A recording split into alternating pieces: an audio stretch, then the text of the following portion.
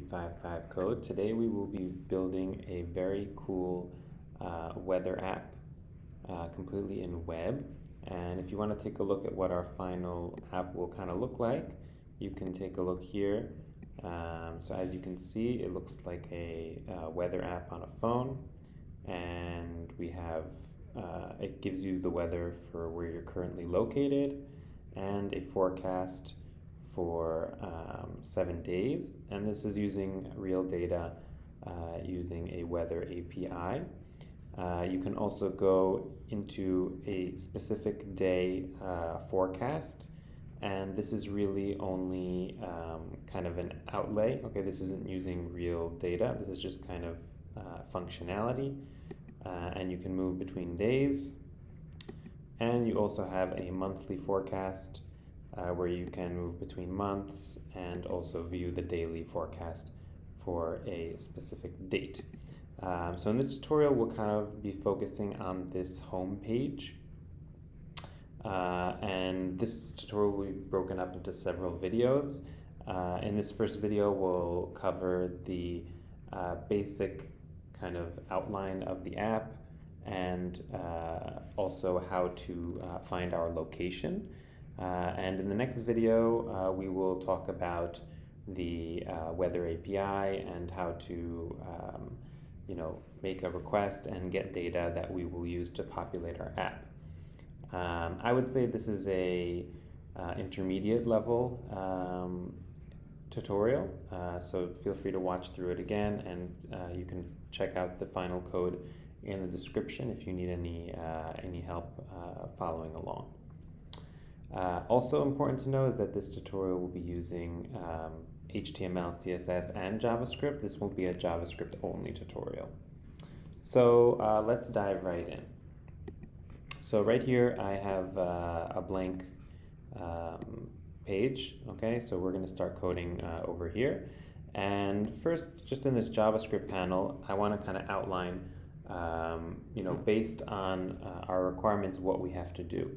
So uh, we're going to want to have, let's say, a uh, phone screen. Uh, and this is all in the outline. And then in this phone screen, what we'll want to have is an upper section with the uh, location. And then we're going to want to have a middle section. And this is going to have um, an a background image and um, weather.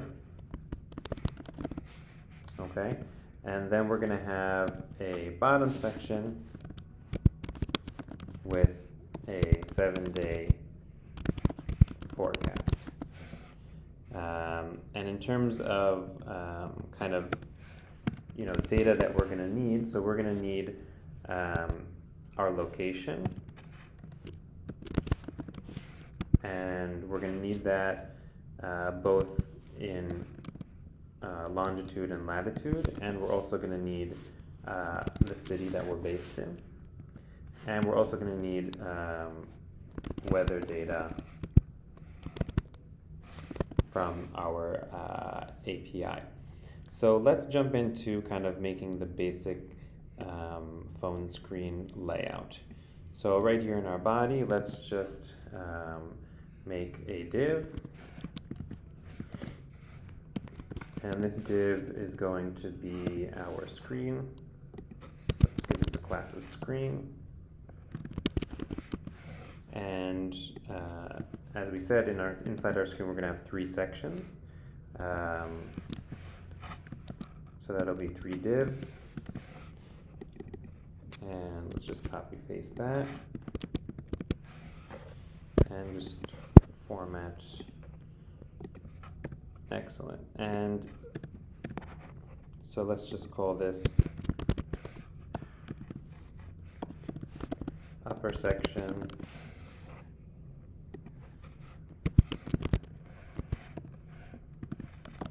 Uh, middle section. And lower section. And then, uh, so within each of these divs,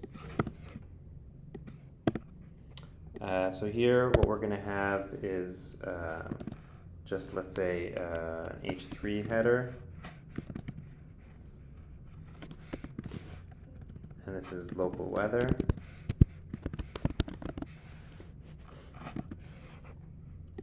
And then here we're going to have an H1. And this is going to be uh, this is going to be our city. Okay, so this is going to be populated by data, um, but we're going to give it just a default fallback, and that's going to be called uh, city. Okay, so that's pretty much for the top section, and then the middle section we had, and you can kind of jump back to the original code just to reference and see what we had. So we have this background image, and we're going to change that using um, the background image of this uh, class here, and inside we have just a paragraph and it says uh, currently. And then we have um, let's say an H2 and this is going to be our temperature. I'm just going to put a T holder for now um, and then we also have a description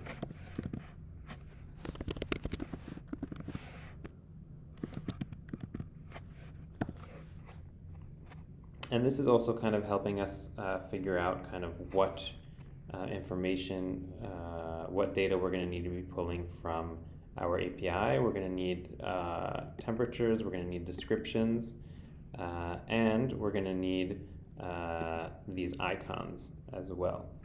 Um, so let's kind of write that down in our JavaScript section so that we remember uh, what kind of data we actually need. So we need uh, temperature, uh, and we need uh, description,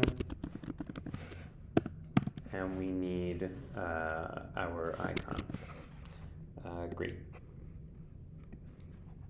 And, okay, so in the lower section, what do we have here? We have just kind of a, let's say an H2, it says forecast.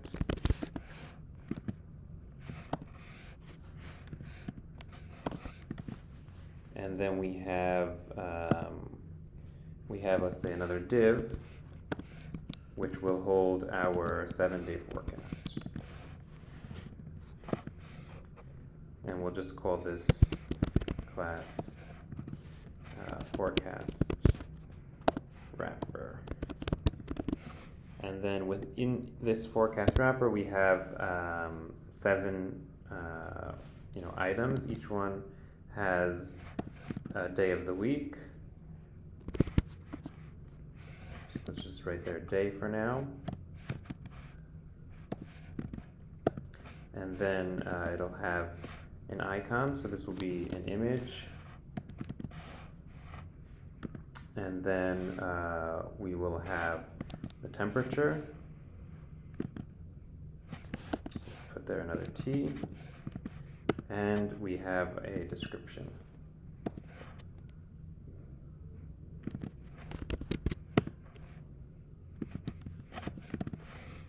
Great. Uh, so let's take a look at what our app kind of looks like now if we run our code. And as you can see, I mean, there's no styling at all. It's just kind of very uh, basically put out there. So let's just give it a tiny bit of styling uh, just so that we can kind of see a basic outline of what's going on here. So um, first thing we're going to do is just we have our screen, so let's style that. And let's give it, you know, a height of let's say uh, 460 pixels. And width of let's say 280 pixels. And this all can be changed later on. Uh, let's give it a solid border. And uh, let's give it a border radius 15 pixels. Uh, let's see how that looks. Great so we already have a phone outline. Um, and then uh, for upper uh, section. I'm going to give it some padding. And I'm going to copy this for the lower section as well. And we might need to adjust this, um, you know, as kind of as the uh, you know as we as we develop our app and we see different things that we're going to want to do here. Um, excellent. So we have the basics. Uh, it's still very very um, you know basic as I said, uh, and because the most important part for our app is going to be the data. Uh, design is something that you know everybody can change kind of according to what they uh, want. So as I said, we're gonna, in this section, we're just gonna kind of build the outline, the wireframe of the app, and then we're gonna focus on this uh, city part. Okay, so for this city, we're gonna be uh, needing to find our location. Uh, and there's really two ways that we can uh, find location using JavaScript, um, or two widely used ways, and that is using either uh, geolocation or um, to use somebody's I to use your IP address. Um, and the reason that we're going to use IP address is because it is uh, you don't need to get special permissions to do that uh, because you know the uh, servers already know what the IP address is once you're connecting, and you don't for geolocation, you're going to need a prompt and you're going to need to ask for permission. Uh, so this is also um, an API, uh, and you can kind of just go on Google and search for, um, you know, IP lookup. Um, and the one that I specifically uh, decided to use is called uh, Extreme IP Lookup. And uh, as you can see, it's a free IP lookup geolocation API.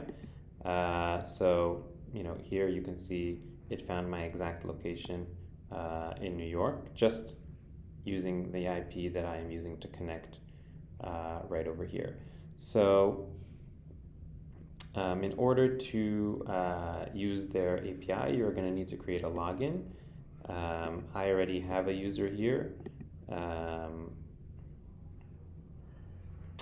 if I just can remember my path. So after you successfully log in, you can go and get your uh, free API key. Um, and here they give you a short explanation of how to use the API key. Uh, and you just need to put it as a query um, at the end of the uh, URL. So if you use this first uh, query here, then it'll just give you the API uh, it'll just give you the uh, location information for um, the, the IP that you're using on your uh, local computer, or you could, if you wanted to, you could also pass another location's IP uh, address to get a different location. And this could be helpful later on if we're testing our weather app and we want to test out how it would work in different locations. Uh, but we won't talk about that right now. So we just need really this first um, API example and let's actually put that right into our browser so that we can see what the JSON uh, that comes back looks like. Okay, so this is basically the information that we're going to get. This is the data that we're going to get when we make a call uh, to this API uh, from our code. And you can see here, um, there's some information about the location. but we see here city. Okay, and this is what's important to us. And latitude and longitude are also going to be important to us later on. So this is really the information that we need from this API. So let's go back into our code and let's build out a function that will uh, make a call to this API. So let's just call this um, get location from IP, okay? And this is gonna be an async function because we are making um, you know, an API request, so we're going to have to wait for this data to come back. And basically what we're going to try and do is we're going to try and we are going to, uh, let's say, response equals fetch. Okay, so fetch is basically, um, you know, what we want to make when we want to make a, a call to another uh, to an API. That's what we're going to use. And this should, uh, with if we don't give it any more information, it should be making a basic uh, GET request. And in here, I put the link uh, that we were provided to we were provided uh, by the service that we're using. Uh, and here, don't forget to use await. that's the async element of this function. And then we are going to return the uh, response and we want this to be in JSON format so don't forget uh, response.json okay? Uh, and here we're also going to add an await uh, for this. So uh, and here let's just deal with the case of an error. So uh, sorry catch. And if we have an error, then we will just uh, console.log error and whatever uh, error message we get. And uh, now let's just write another function that will basically make a call to this, uh, um, that will call this function and then just uh, console uh, the response. So let's just say uh, let's call this function test, and this will be equal to also an async uh, async function. And basically what this async function is going to do is just say uh, location, or sorry, const location is equal to uh, get location from IP. Uh, obviously, we don't want to forget the await here because this is asynchronous.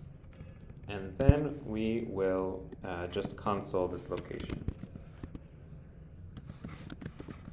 And what we should get back is the data from our uh, API. So let's try and run this code. Obviously, don't forget to call test. Okay.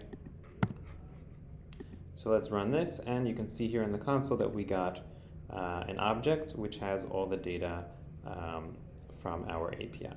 So we could take this one step further and let's change out this test function and we'll let's just call this uh, get city. And uh, so this function will do something still very similar. It'll get our location from the location IP and it'll return uh, location dot city. Okay, so now if we just um, and we can get rid of this console.log. And then uh, what we can do is just uh, console.log get city. And let's see uh, what we get here. And it comes back uh, null because uh, this console because this is asynchronous and this console.log is synchronous. Um, so instead of uh, consoling this within, outside of our function, we actually uh, should put our console uh, over here. And instead of that, we'll just do location.city. And now uh, let's check it out. Uh, obviously, we need a call get city. And uh, you can see New York comes back, okay, because that's the city that I'm located in right now. And if you were to run this function uh, anywhere from, from anywhere else around the world, you might get a different city because you're located in a different place. Okay, this is a very real uh, life situation where you're actually getting the current location of your current IP address. Um, great, so the last thing that we want to do um, with this information is uh, populate this city um, part of our HTML. So let's uh, give this an ID. And let's just say this ID is city. Okay, and then what we're going to do here is let's make another function that's going to be called uh, set city. Okay, and this is going to be uh, also a function.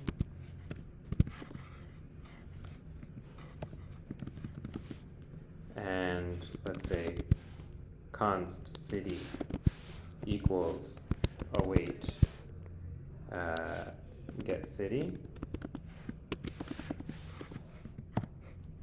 And then what we're going to want to do is document dot um, get element by ID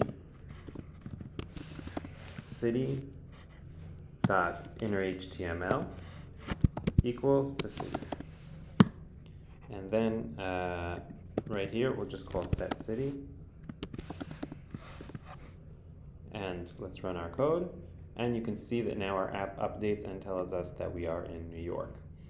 Uh, so this is the end of the first part of our uh, weather app tutorial.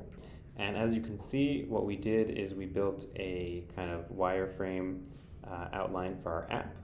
We outlined what our requirements are, and we did the first step of retrieving our data, uh, and we got our location using uh, an IP API. And we have our city, but we also have within this data the uh, longitude and latitude, which we will use next time to make our call to the weather API. Uh, so I hope you enjoyed this first part of our tutorial and don't forget to like and subscribe so that you can follow along uh, and see the next installations. So see you next time.